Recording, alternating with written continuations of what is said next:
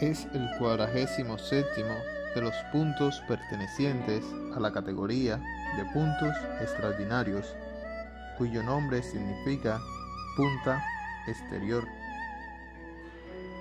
localizado en la pierna, en la parte inferior, a nivel del maleolo, sobre la protuberancia de este.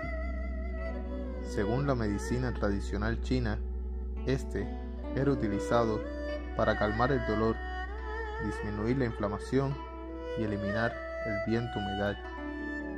En la actualidad, vemos presente su uso para tratar el dolor de muelas, hinchazón y dolor del tobillo y pie de atleta.